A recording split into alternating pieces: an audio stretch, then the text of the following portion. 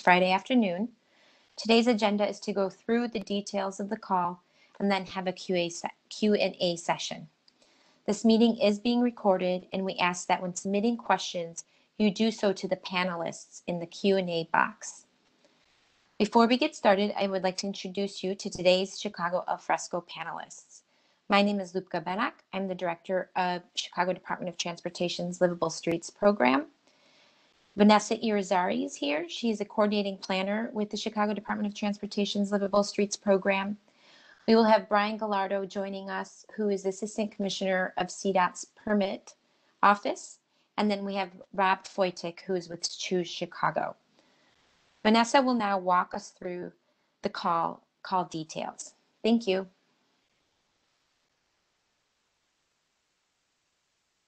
Good afternoon, everyone. So what is Chicago Alfresco?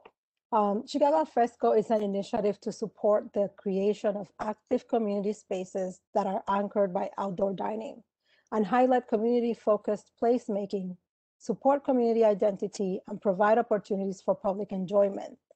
The program is part of a broader city initiative to open streets and create places for dining, public activity, community, arts, culture, walking, and biking. Building upon the existing expanded outdoor dining program, the city is encouraging local community organizations, such as chambers of commerce, special service area providers, and other nonprofit organizations to submit project proposals.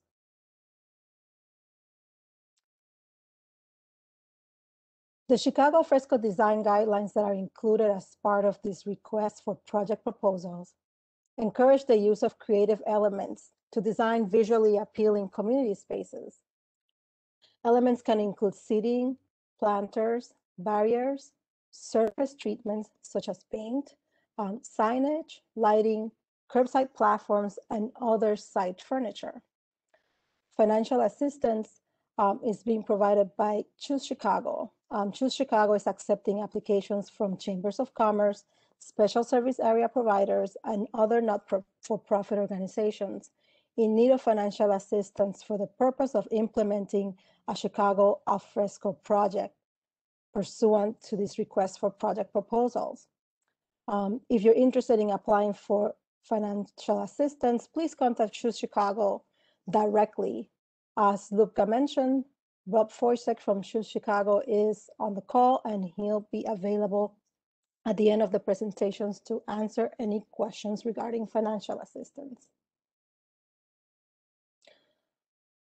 Proposals are going to be accepted for a variety of project types and scales. Um, the project duration must be a minimum of six months, and preference will be given to projects that commit to activating the public way for up to three years. Um, the different types of projects include existing plaza programming. Um, CDOT has approximately 50 plazas under its jurisdiction. Um, information on plazas that might be suitable for Chicago alfresco projects have been uploaded to the chicago.gov alfresco website.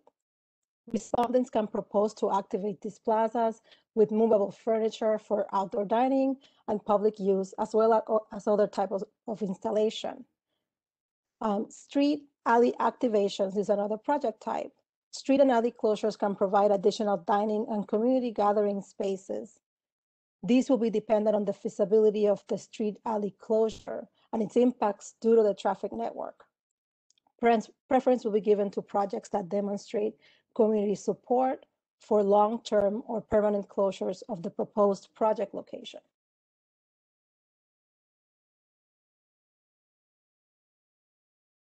The final project type is curbside use, whether it's platform or non-platform. The use of parking spaces along the curbside of the street can provide an opportunity for expanded sidewalks and provide additional public outdoor space. Platform and non-platform solutions can provide additional space for outdoor dining and public seating.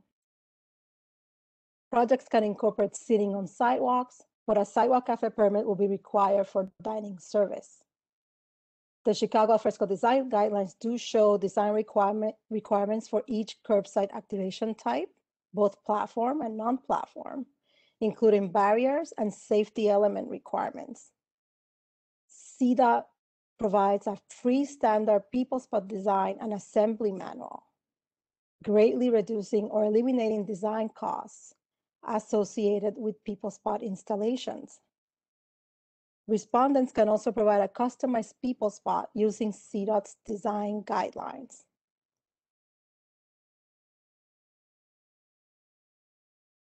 CDOT will be accepting applications at any time for the Chicago Alfresco call. However, the timeline shown below has been established to support projects during the upcoming outdoor dining season. As you know, the request for project proposals was issued on March 19th. Right now, we're having our virtual webinar and Q&A session. Proposal submission deadline is April 15th at 5 p.m. Respondents will be selected around the end of April, April 30th. And the first round of projects will be groundbreaking starting on June 1st and ongoing.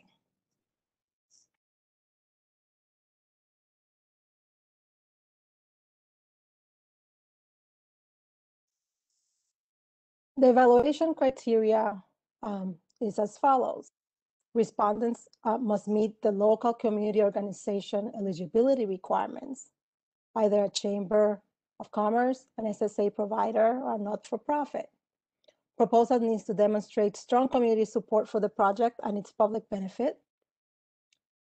The project is located in a business district or commercial corridor. It promotes economic development activity and or has been part of a successful expanded outdoor dining closure. The project has to maintain an uninterrupted and unobstructed walkway for pedestrians on the sidewalk, adjacent to building facades, and they must meet all ADA requirements.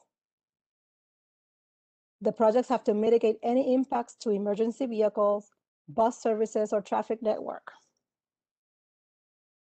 For example, projects cannot block bike lanes, they should not be less than 30 feet from any intersection, and street signage cannot be blocked or sightlines for pedestrian and vehicles cannot be impeded. The project should promote programming and placemaking.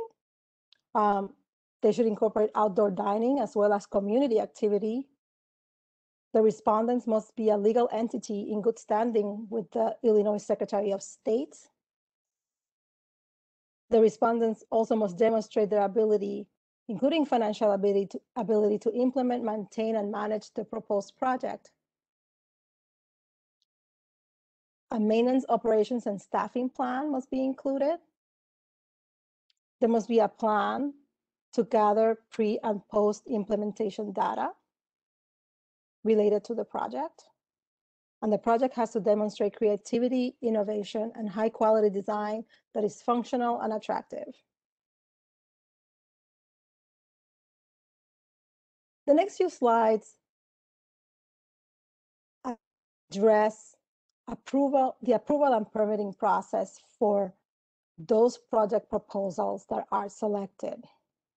So these are not requirements of the project proposals and the applications for project proposals, but this is more of an information session on what selected project proposals will be required to do if selected.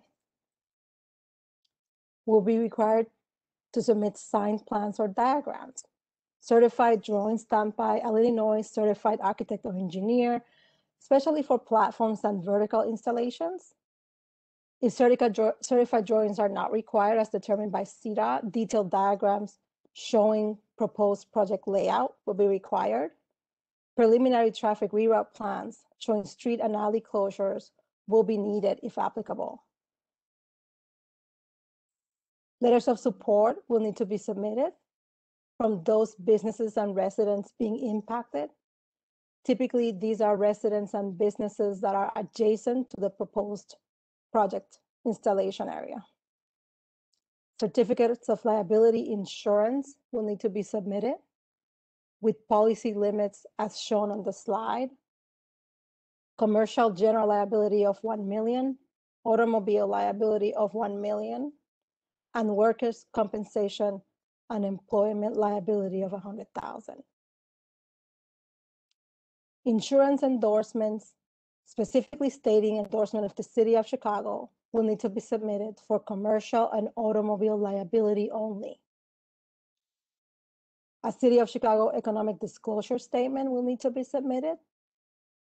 You can find those online. And a State of Illinois certificate of good standing will be required.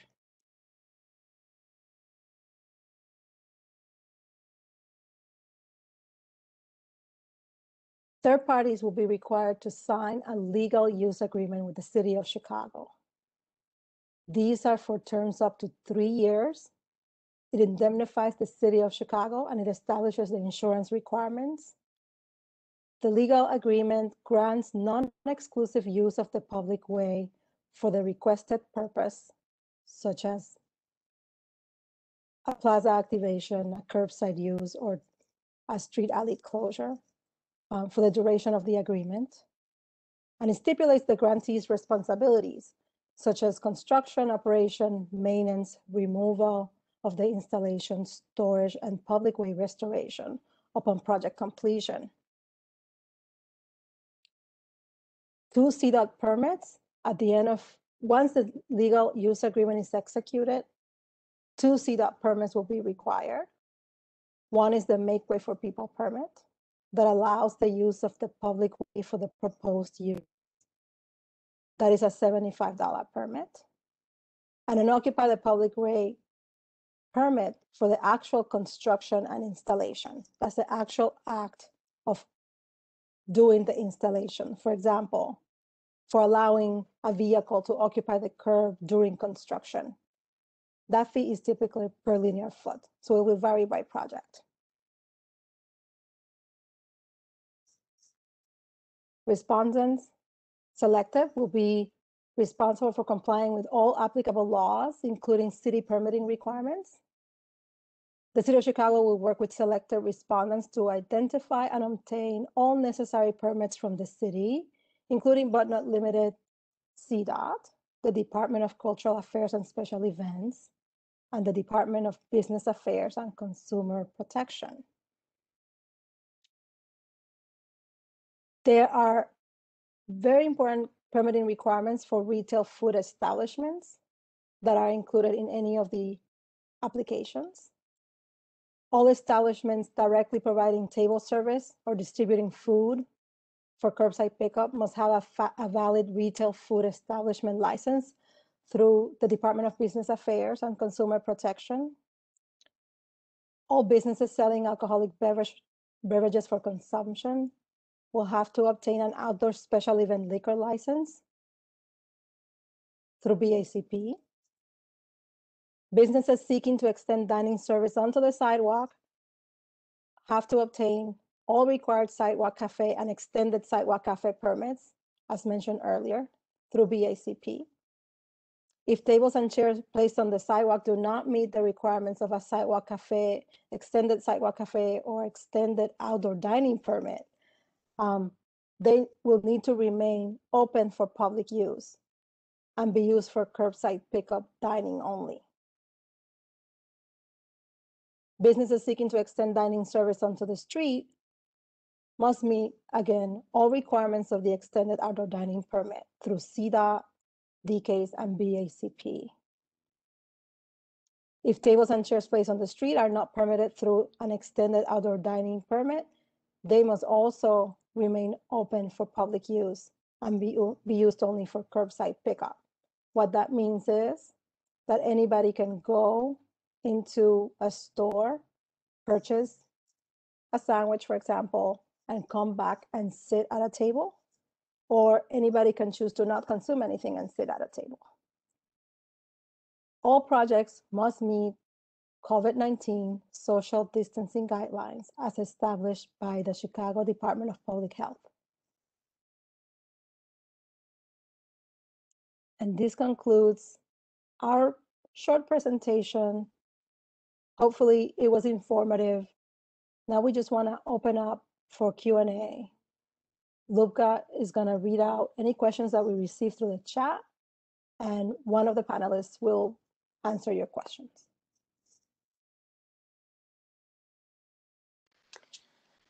Okay, thank you, Vanessa. Um, we're going to start with some questions that came in through the Alfresco website. Um, the first question is, the first two questions are for Vanessa. So can a chamber and SSA partner on a grant proposal?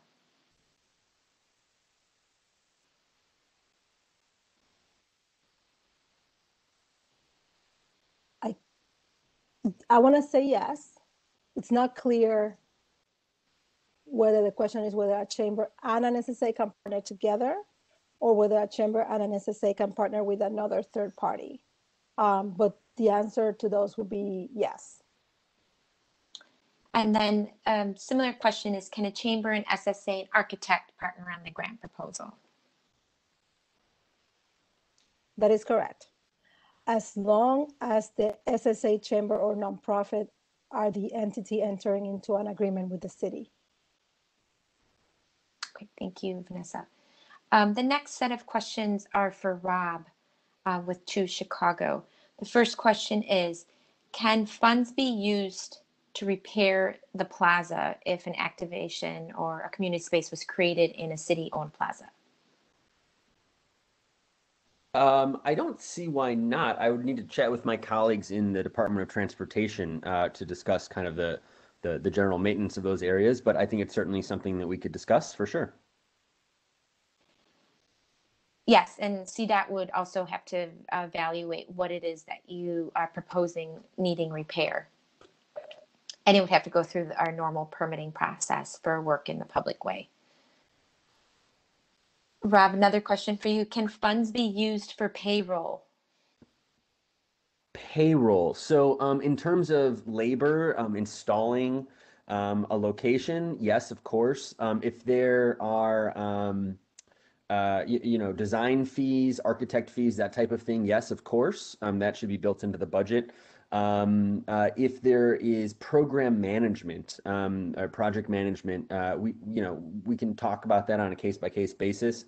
Generally speaking, you know we do have a limited amount of funds, so if it's um, you know covering hours of normal staff members, that would not probably be something we we would uh, be able to cover with the grant. Can funds be used to purchase cleaning supplies and rent dumpsters slash portable toilets? If that's part of if that's part of the the the longer term activation of the space uh, yes. I guess i would just challenge um, an, an, applicant to consider consider whether or not uh, porta johns were a good feature of a longer term installation.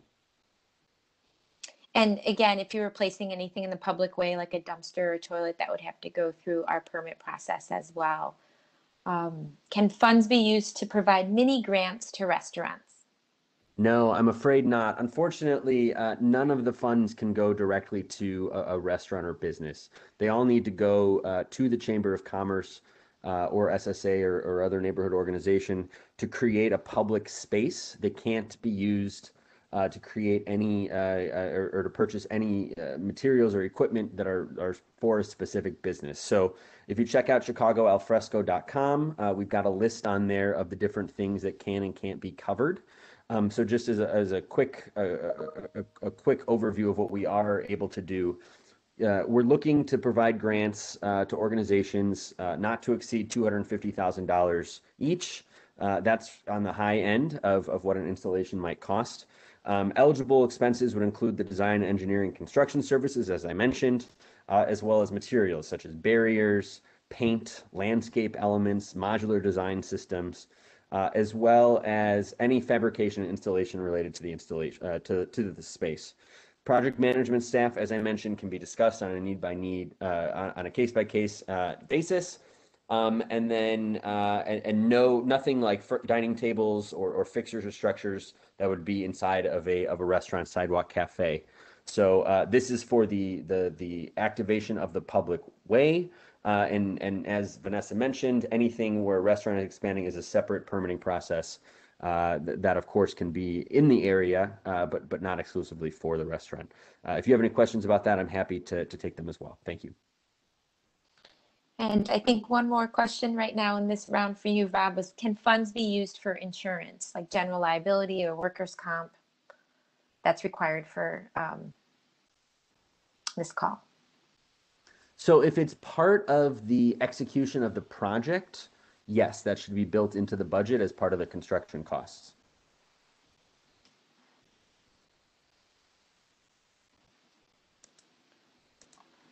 Thank you. We'll move on to now um, some of the Q and A questions received. First questions, our city, uh, Vanessa, um, I'm not sure if Brian's joined us yet, but are city-owned parking lots eligible? The city-owned lots are managed by the Department of Planning and Development and are not under the- the jurisdiction of the Chicago Department of Transportation, so not for this call. Hey guys, sorry I'm late. I took it took about 15 minutes to get the screen loaded. I really apologize. It's okay, Thanks, Brian. Brian. And I heard that last question. So, uh, and any other time we use those city-owned parking lots, usually they have to get a a right of entry agreement in place to use something like that. Okay. Are we responsible for funding the installation along the public way? Yes. The, the, the- the respondent is responsible for the installation.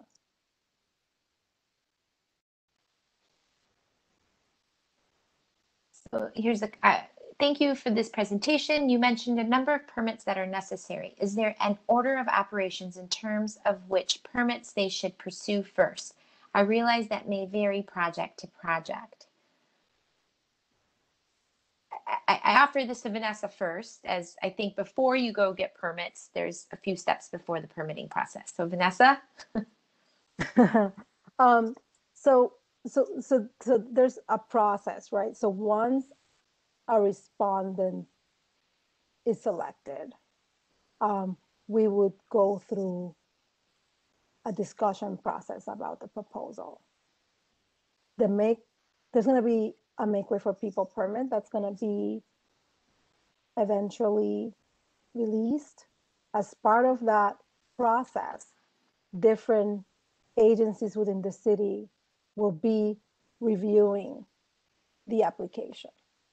So we'll be working and coordinating with the applicant, but we will also be coordinating internally to make sure that all of those required permits are being triggered within the Make Way for People application, and they are being approved as part of that Make Way for People permit process.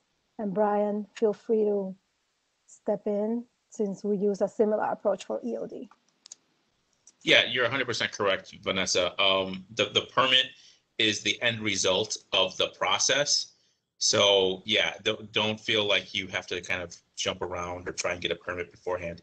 Once you apply, as Vanessa said, it'll, we'll run it through the paces.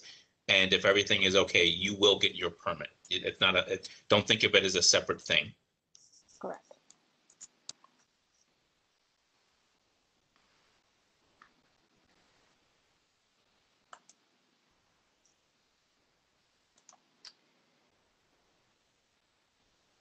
A cafe would need to apply with the chamber or SSA.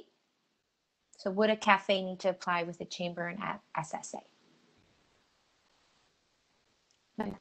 A chamber, SSA, or local nonprofit needs to be the applicant for the call for project proposals and will be entering into an agreement with the city. We understand, of course, that since this is related to supporting outdoor dining, um, different organizations will be working with retail food establishments as part of that process or as part of the application, but the different businesses are not entering into an agreement with the city.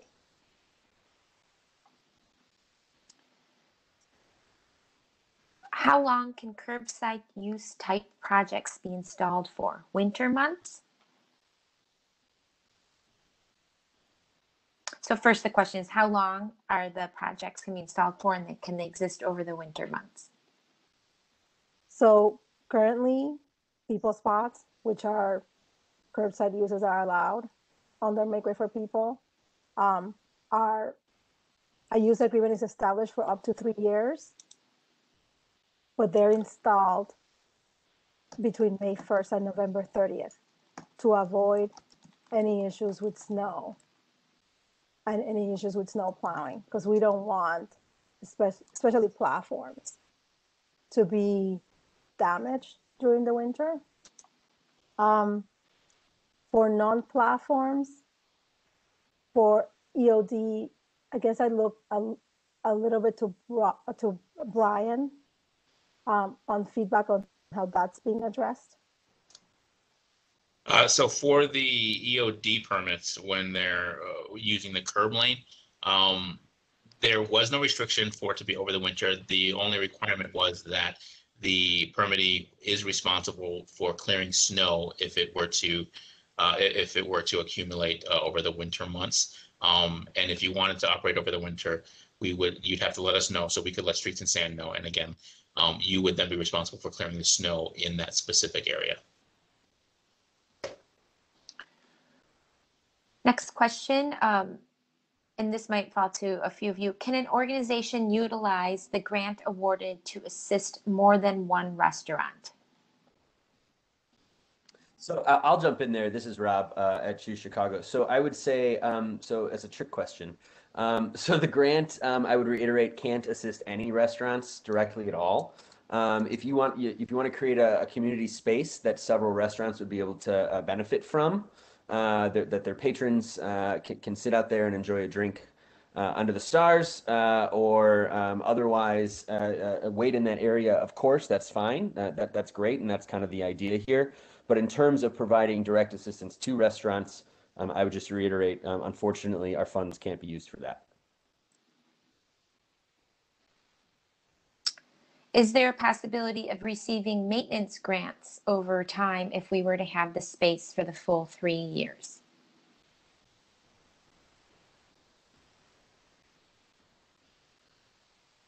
That is not guess- something envisaged as part of the Choose Chicago grant. No.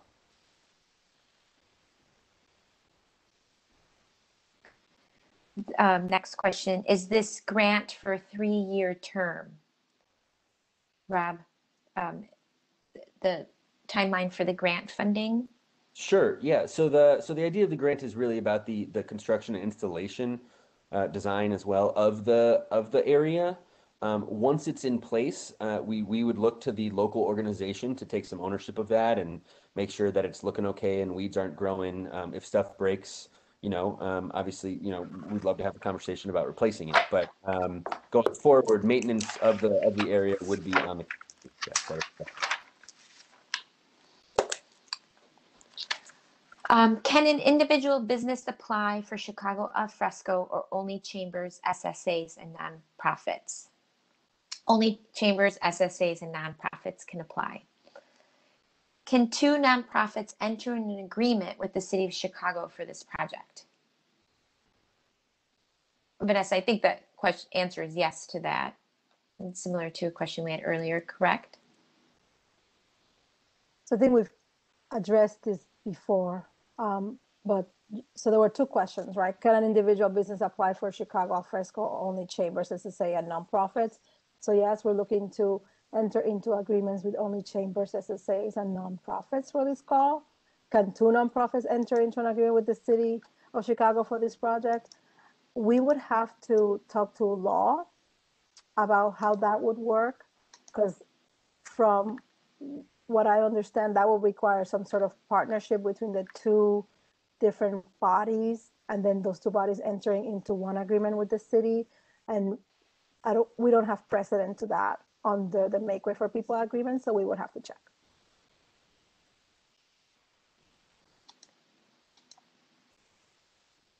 Does this require aldermanic approval and or will the department alert the alderman's office when alfresco is approved in their ward?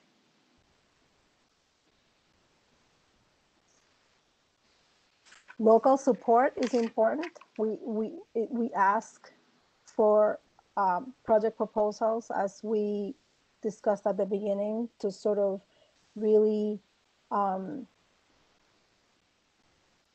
be in the spirit of sort of community needs and what the community wants are. Um, we would notify the alderman of any respondents um, that are successful in their application.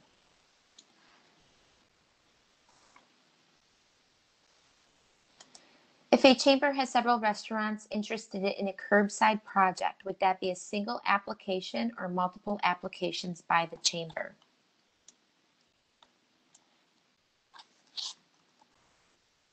This would be one application by the chamber. Can we include storage of street barriers in the budget? I think this is for Rob.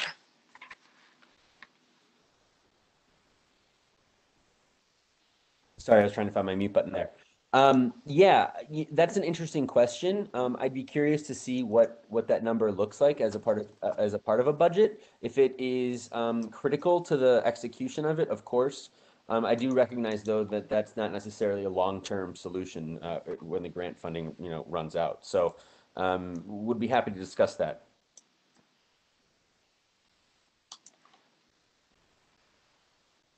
Does the city have any other funding sources to support Chicago Alfresco? Vanessa, I think that would go to you. Not currently. Yeah, not, if I might chime in, this is Rob, sorry.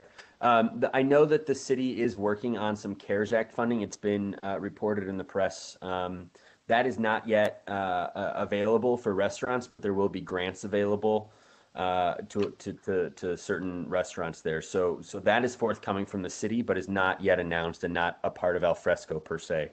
Um, we don't have additional funds at Choose Chicago at the moment to support this. Um, and because uh, we, because of the generous support of Diageo, uh, we're able to provide these grants. Um, but because of the business they're in uh, in liquor, uh, there are state laws that prohibit us from uh, allowing these funds to flow to businesses, which is why we have to be so strict about um, it not going for dining furniture or, or, or that sort of thing. So this could pay for an outdoor dining space in front of a restaurant that currently does not have one as long as the applicant is a nonprofit. In that case, the outdoor dining area is to be used by the public without consuming from the restaurant. I think overall, Vanessa is seeking clarification. I'm just rereading the question because there were a few components um, on that question. Um,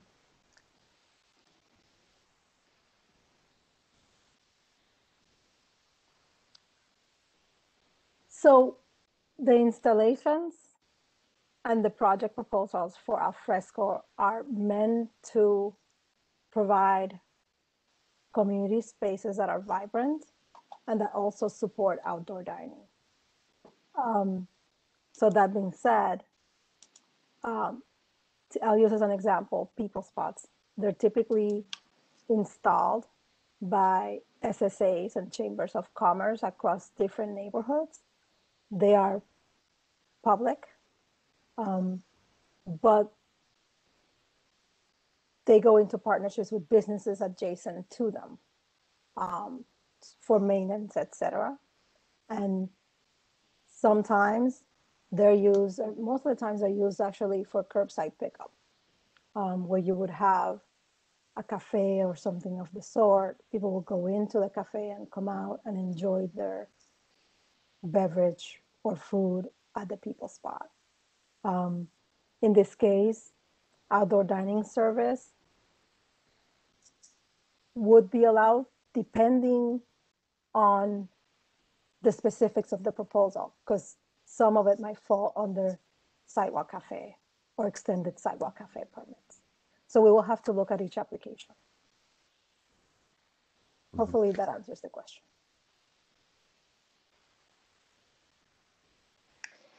Does the packet with its permits need to be completed in their entirety by the 15th? No. The call for project proposals is due on April 15th, not the application materials and the permitting requirements. Right now, what would be due on the 15th would be all of the information asked on the application form that is located on the supporting documents at the webpage chicago.gov backslash alfresco.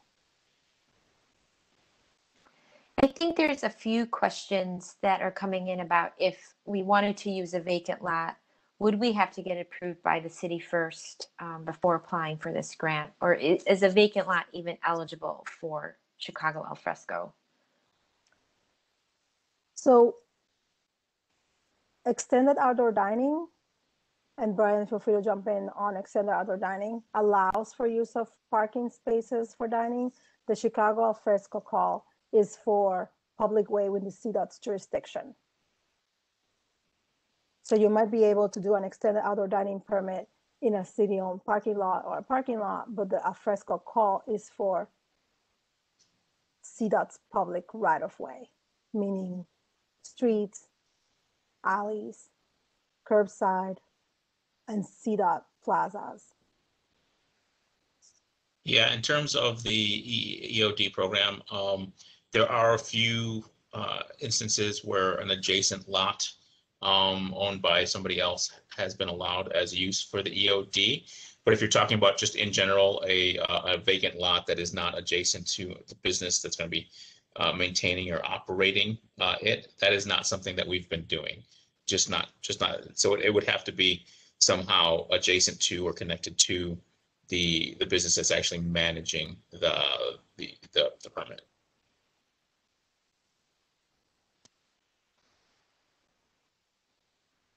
Can an SSA build the maintenance fees into their budgets to fund the ongoing obligation? Will the organization be required to sign a maintenance agreement?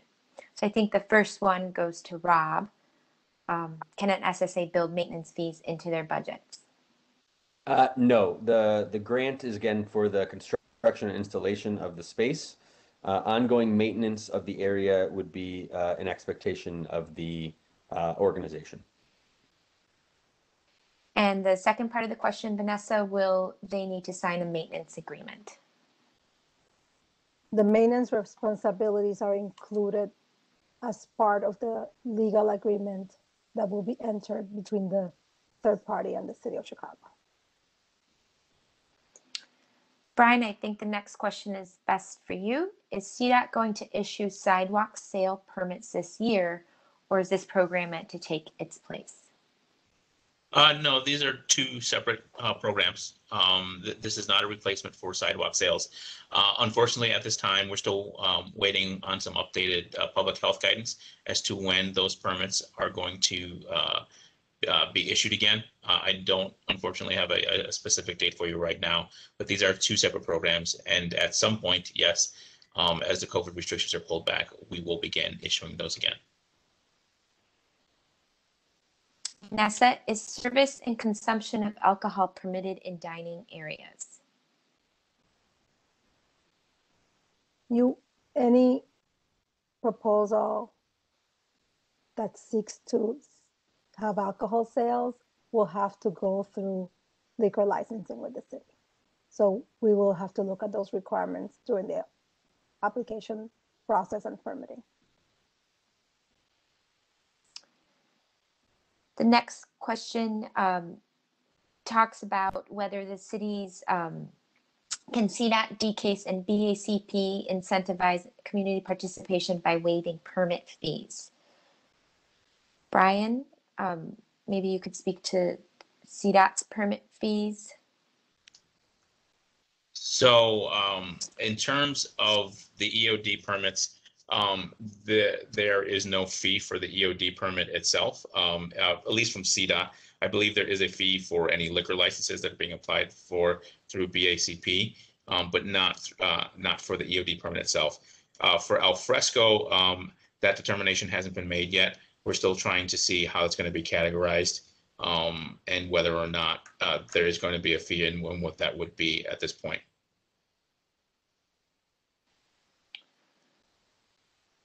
Will we be required to place signage at each site for the project? I- think signage is gonna be dependent on the specifics of the proposed installation, right? So if you have a platform, um, you will be required some safety, not to get technical, or in three signs, for example, at each sign of the people spot, just to, for, for safety reasons.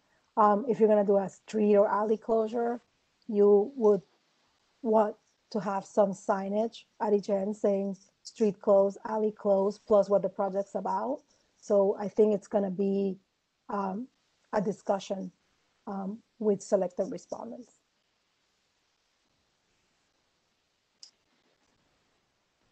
Rob, is the award given over a period of three years or in one lump sum? It's uh, it's given in one lump sum at the beginning to to do the construction and installation. Vanessa, what is the community support requirements again? Can you go over? So you will need letters of support from businesses and residents that are impacted by the proposed installation. Typically, those are the businesses and residents adjacent to the location. And Vanessa, can programming take place within the alfresco spaces? Um, i- i- it is the understanding of the person submitting a question that EOD spaces do not allow for activations, but is alfresco different?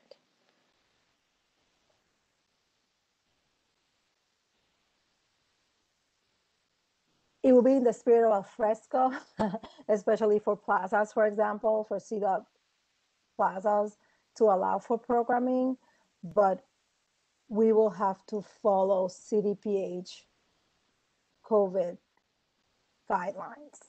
So it might be changing um, as we move along in project proposals and permitting. So we will all have to be mindful of that. I would just jump in and say also from the grant side, while ongoing cultural programming probably isn't a part of the, the funds that we're able to provide, art is certainly something that we want to be a part of these spaces um, if possible. Uh, and again, as Vanessa mentioned, obviously having to follow CDPH guidelines uh, as COVID continues. Um, but if that includes right creating areas for street performers, uh, right in accordance with all the rules and regulations, that type of thing, um, that would be great. And I think that's that's just a great benefit to the entire area. Um, I would also note um, our our consulate, our consular community in Chicago uh, of foreign representatives uh, here in Chicago. Um, they've expressed some interest as well. So I've got actually, uh, if anyone's interested in any international art, um, I have a few consulates that have offered up uh, various pieces as well as uh, cultural programming later. Uh, the the uh, the consulates of Japan and Germany uh, are coming to mind off the top of my head, but I believe there are some others as well. So uh, do reach out if that's interesting uh, to anyone also. Will the al- alfresco program be available for the north, north far side of Chicago? I think this goes both to Vanessa and Rob. Um, so I'll answer first. The Chicago Alfresco call is for the entire city. We're looking for ideas um, from north, south, west, all parts of the city on ideas on how people can activate the public way in a way that supports dining. And from the grant side, um, uh, with our with our, our our generous donor, we've discussed 75% of the funds being used to support communities on the south and west side, most impacted uh, by COVID, as well as most economically hard hit uh, by by the pandemic. So uh, we do want to spend uh, at least 75% of the funds in those communities.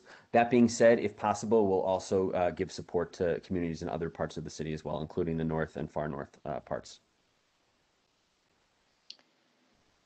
Can a restaurant serve food at a people spot or plaza if they have an expanded outdoor dining or sidewalk cafe permit at another location?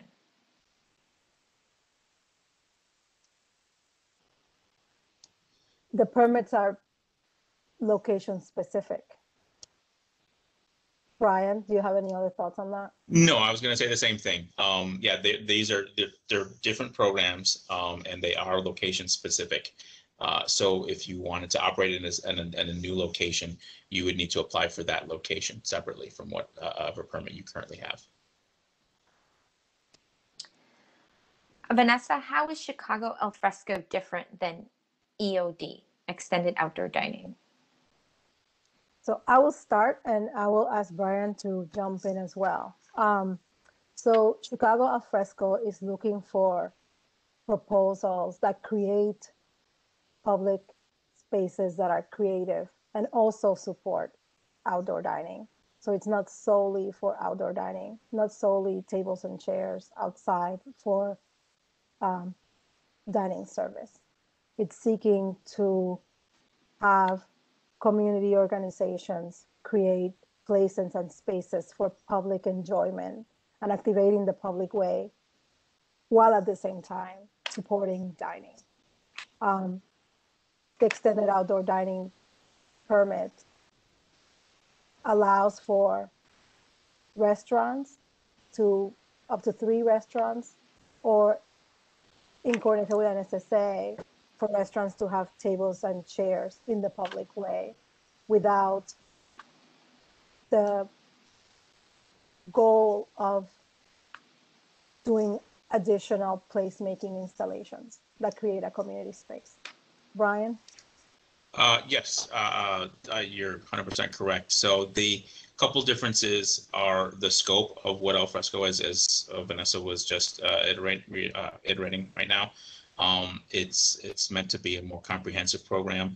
Uh, the EOD program is uh, really just meant to be um, relief or stopgap for uh, the COVID restrictions that are currently in place. Uh, and it's important to know that the ordinance that authorized the EOD program expires this year.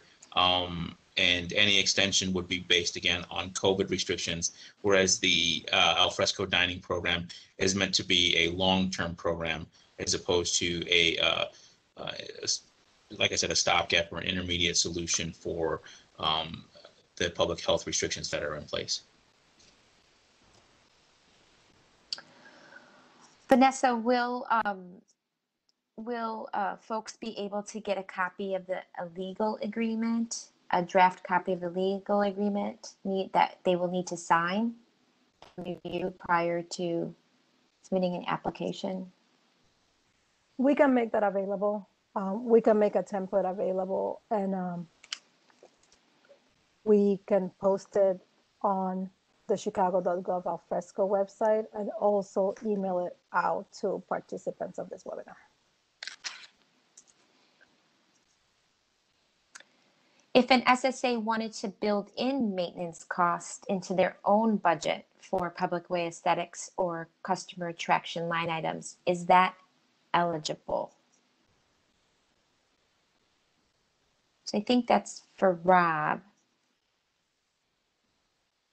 So, in terms of grant funds, uh, again, uh, maintenance uh, is just something that we're not looking to include in this grant, uh, and that would be the responsibility of the chamber.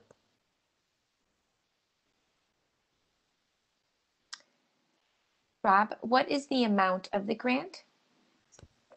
So the grants can't exceed two hundred and fifty thousand dollars. That being said, that is uh, on the very high end of what a project would cost. Uh, an average project would probably be closer in the eighty to hundred thousand dollar range, depending on the, the size and scope. Um, but we would we would encourage communities to submit um, a, a range of sizes that are appropriate for their community, recognizing that um, giving out two hundred fifty thousand dollar grants, of course, limits uh, our ability to make an impact uh, across the city. Will bars that are already part of EOD be able to be part of the application? We are three businesses, two restaurants with, and one bar. So again, project proposal applicants um, should be SSA's chambers of commerce or nonprofits. That being said, one of the project eligibility sort of criteria and things that we'll be looking at is if the proposed location was a successful EOD. So if there was an EOD that has been successful at a certain location, and now the community wants to put forth a proposal for Chicago Alfresco project, we'll be taking that into consideration.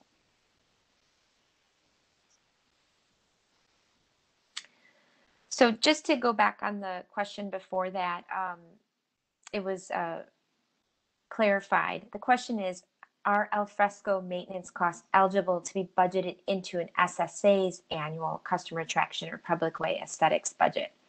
So is that a allowable expense for an SSA? I think you'll have to reach out to um, the Department of Planning and Development, and if um, we we can maybe have um, that discussion internally. Um, you can reach out to the Department of Planning and Development, or feel free to email at alfresco at cityofchicago.org with the specifics, and maybe we can start the conversation and coordinate on on that.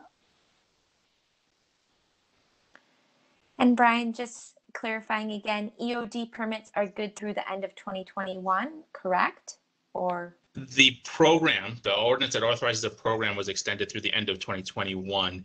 Um, but your permit will have its own expiration date that would vary on, uh, be based on various uh, other requirements. So depending on when your insurance expires, depending on when your liquor license expires, there are other factors that would affect um, whether or not you would need to request an extension of your permit. Um, but the pro, but if you want to extend your permit, the- it, it is available to be extended uh, through the end of the year, assuming all requirements are met and there are no changes to the public health requirements. Can you explain sign requirements for sponsors, um, logo or activation? Vanessa, are there requi- what are the requirements around? So signage, um, sponsorship signage is not allowed. So advertisement is not allowed in a public way. Um, signage for projects are meant to just describe the space and let people know um, what the space is about. Um, but sponsorship and advertisement is not allowed in public way in the public way through signage.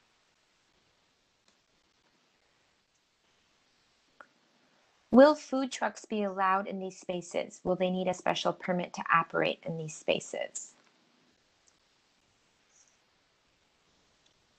Uh, food truck ordinance requirements would, would, would fall into this. Um, so I encourage you to take a look at the food truck um, parking allowances, et cetera, and maybe um, you might be able to coordinate the activation, for example, with an existing food truck location, like food truck parking location. For example, some of the plazas are right adjacent to a food truck parking spot, right? Um, so that might be sort of a natural, um, there'll be a natural synergy there, um, but we would have to look and evaluate that on a case by case basis, and also keeping in mind food truck requirements. So if you already have an expanded outdoor dining permit that does not meet this criteria, can you not apply for Alfresco? For example, the bus has been rerouted already. I think we ne- need some more clarity on that question unless Vanessa or Brian, you, you're understanding it better than myself. Can you repeat it, Luca? If you already have an expanded outdoor dining permit that does not meet that criteria, can you not apply? For example, bus has been rerouted already. So I guess I need clarification on what that criteria means. I'm assuming the alfresco criteria. Yes, if um, that person's still still with us, if you don't mind uh, rechatting the Yeah, I'm question, not. that would be great. Yeah, the way, and I don't know, again, if they could clarify, but I, if you're asking if you, like, so the, the, as, as stated before, the EOD and the Alfresco are actually two separate programs. Um, a- and, so their, their application criteria are different. Although there is a little bit of overlap, they are different. So, uh, don't assume that just because you qualified for an EOD permit, that you will qualify under the application requirements for Alfresco. Does that make sense, Vanessa? Yes. So they're, they're going to be two different permits. So we will be evaluating them differently. I think I see, I, I saw some, the person clarify.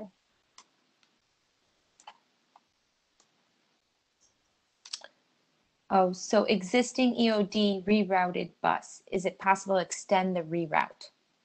Brian?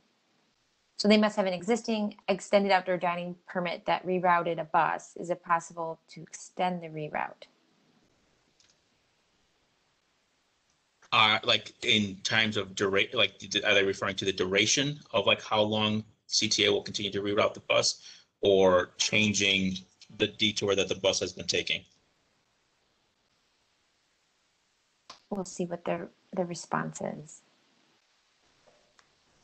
In the, in the meantime, we'll just continue, but Rob, one question for you. What are the number of awards that you hope to issue? My goal would be able to get at least 20 awards out uh, into the communities. Uh, so, you know, uh, that's that's closer to the 100,000 number. Um, but uh, let's see let's see what communities propose and what we're able to support. Um, uh, separate from that, I would note um, Mary O'Connor from the Department of Planning and Development is on the call, uh, and she just sent me a message and said that SSAs are able to to use their maintenance funds uh, for that for, for for maintaining the areas. So if you have an SSA, that might be one area uh, where you could pull uh, you know some funding for maintenance. Mary. Um, question, I think this refers to earlier in our presentation, Vanessa. What is the cost per linear foot amount? Maybe for the permitting? Or But typically, depending on what it is, like for a people spot, it has been like twenty-five dollars a linear foot, but we're gonna have to look at each proposal individually because we're gonna not only be getting people spots, we're gonna be getting alleys and we're gonna be getting streets and we're gonna be in curbside. So we're gonna have to work through the details with the permit office. Rob, can we use this grant for banners? Uh, i- within, of course, the the guidelines the, that that CDOT and BACP have around uh, advertisements uh, for different businesses and in the public way. Uh, if it's art, um, if it's a, a, community signage, if it's welcoming folks to the area, that would, of course, I think just be considered part of the design of the space. Uh, so yes, of course. And then I know you mentioned this early, but if you could just reiterate uh, possible grant amounts. And then for Brian, is there a three restaurant per block requirement for outdoor dining? Um, so first, Rob. Sure. So um, the grants aren't to exceed $250,000. Um, that again is on the very high end of what a project would cost. Um, that's several blocks of something uh, fairly involved. Uh, so it, uh, looking to projects probably closer in the eighty to hundred thousand dollar range for something uh, like a, a more local activation. And then Brian, um, clarification on, is there a three restaurant per block requirement per outdoor dining? So the requirement to have a minimum of three establishments is only for a full street closure. So if you are requesting to close an entire block of a street, completely close it to traffic, um, uh, to vehicular traffic, I could say, which still remain open to pedestrians, then you would need a minimum of three establishments. If you are just asking to expand into, uh, again, exi- an existing lot uh, behind or, or adjacent to your restaurant, um, a- a- an individual establishment can apply. Same thing if you're uh, applying for uh, anything else just under the EOD. That three establishment um, requirement is only for a full street closure. Vanessa, is there a formal application format or is there a portal to enter information or do we just use our own format and send an email? For the call for project proposals, there's an actual fillable PDF form under supporting documents on the chicago.gov alfresco website. If that's what the question is. I believe it was. Are you able to share a copy of this PowerPoint? The um, webinar is being recorded and it'll be posted on the website. We could also um, attach the PowerPoint as well, or a PDF of the PowerPoint, so you don't have to go through the entire recording. Is this does this grant, is this grant apply also to private property like parking lot or only sidewalk or city property? I think we've answered this, but Vanessa, if you just want to clarify one more time. Um, no, the call for project proposals is only for areas on the public way under the Chicago Department of Transportation's jurisdiction.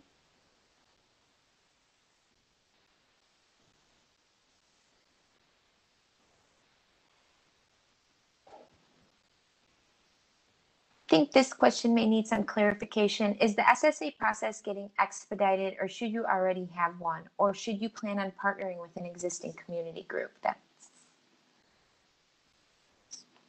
so I think uh, for for folks maybe that are trying to form an SSA but haven't gone through the entire process, um, should they be partnering with an existing community group? if they're not a fully formed SSA.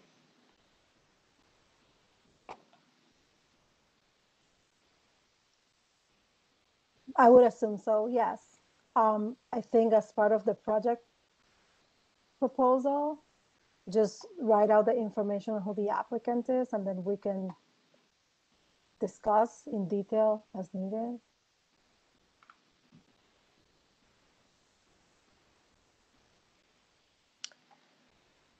There's additional um, questions about private vacant lots and city-owned parking lots, but we, I believe we've answered all of those. Another question, Rob, just clarifying. So the max is 250K for three years. Could repairs, construction of plaza be in phases? Um, again, it's a lump sum at the beginning at, for this year for the grant. Um, anything else to add to that, Rob? Nope, you hit it. Okay.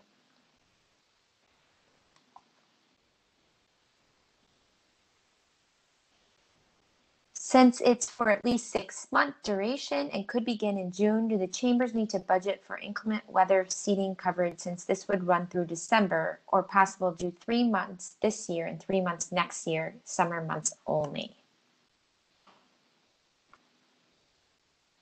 It's up to the applicants and the, the proposals that they want to submit.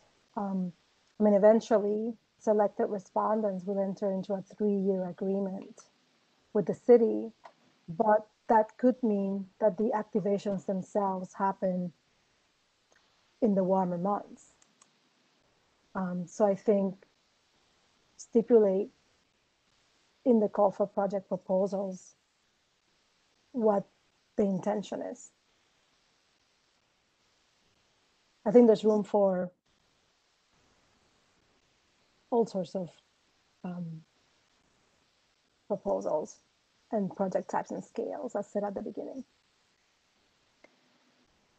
Um, there's a message that the link on the city's website to choose Chicago does not work. Um, what is the URL that we should connect to? Um, Rob, if you want to just say that out loud and then we'll double check on the website to make sure it's functioning correctly.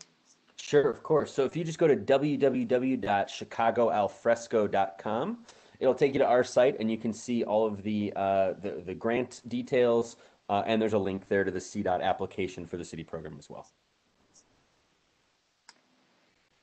If you wanted to have a mobile dining experience that is located in two areas in your neighborhood, is this doable under Chicago Al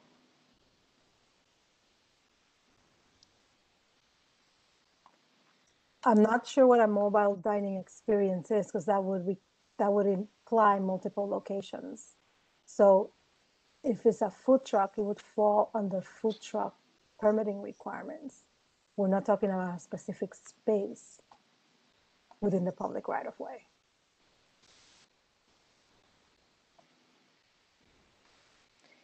So there is some clarification to the bus reroute question and um, they were wondering if existing EOD reroutes or so existing reroutes that were approved by EOD could be cited in the application. Yes. If you have an existing EOD, you should definitely cite it in the application and what that entails.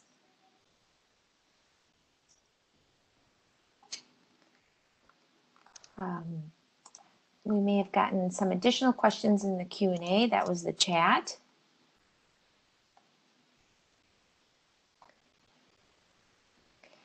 So I'm still confused by the intentions of the programming aspect of the alfresco program since programming is not allowed within EOD spaces.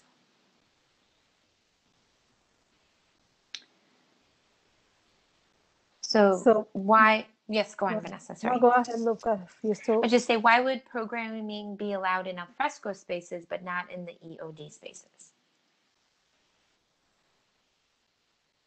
I'll attempt to answer the question and Brian, um, if we can coordinate the answer, that'd be great. So the extended outdoor dining program was, was really a way of allowing restaurants, right, to sort of be able to serve in the public way as a result of COVID restrictions.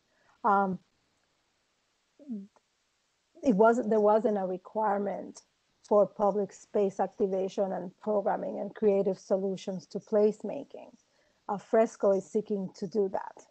Is seeking to sort of build upon sort of the need of having of allowing restaurants to have tables and chairs outside and building upon that and challenging communities to actually create a public space and develop some placemaking that um, reflects the community needs and identity. So it's going above and beyond what EOD um, was meant to do. Brian? Yeah, I agree hundred percent. Um, it's, the reason these are two separate programs is, is just what Vanessa was, uh, uh, getting at, right? It's, the alfresco is, is, uh, think of it as a way to incorporate dining into, uh, a community space. Um, whereas the EOD program was really more, uh, uh, meant to be a lifeline for establishments through COVID.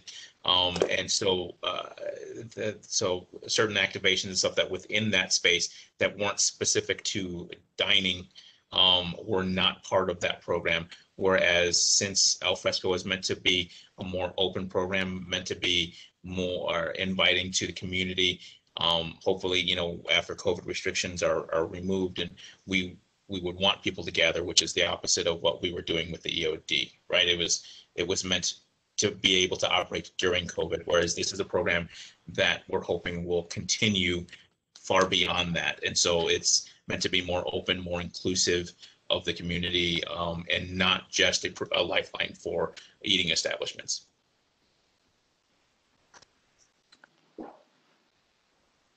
Can a park district space be used if the park district approves the use of the space for public use for concerts and restaurant use?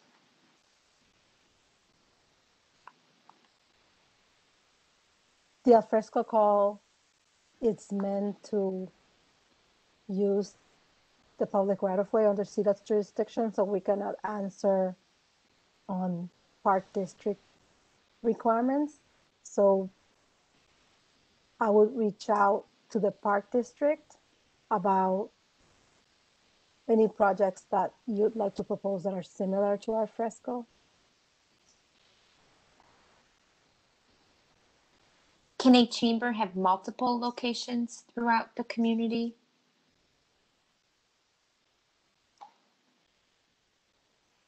Yes.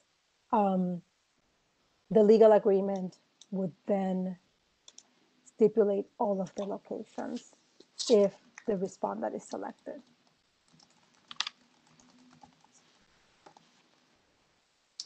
Are we allowed to offer pop-up restaurants in the space?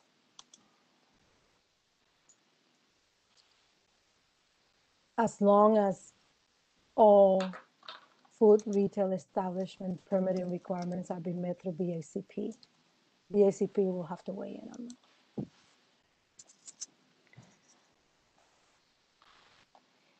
And what is the vision after three years? Will sponsorship then be allowed? So to clarify on the sponsorship question, that is not a, uh, a restriction of al fresco or of EOD. That is a city of Chicago restriction. Um, so, uh, the, I think all of us on the, least on the city side would hope that this program would be successful and it will continue past three years. Um, so in terms of long term, but again, the, the restriction on having, uh, logos or private, uh, advertisement on the public way is not specific to this program. It's a citywide restriction. Correct. And this may be the last question unless um, some folks eh, put some more in, but what is the first thing we need to get in if we are interested?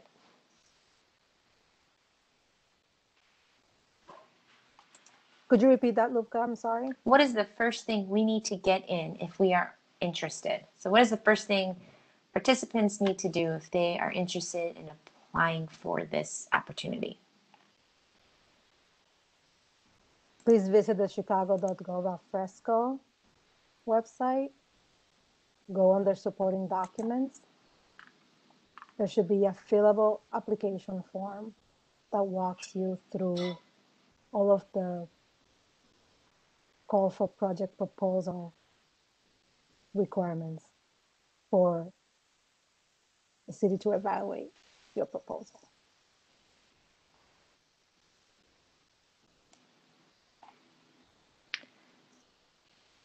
So, I don't see any additional questions coming in through the chat or the Q&A. The recording and the presentation will be available on the website. And um, thank you to all our panelists who did such a wonderful job today going through the Chicago Alfresco program. Uh, And um, thank you for all the participants in attending today. Vanessa, Rob, or Brian, if you want to say any departing words. I just want to thank everyone for participating. Um, we're excited to see what communities are going to be proposing. Um, if there's any additional questions after this webinar, feel free to email them to alfresco at cityofchicago.org. And please um, visit our website at chicago.gov alfresco for additional information.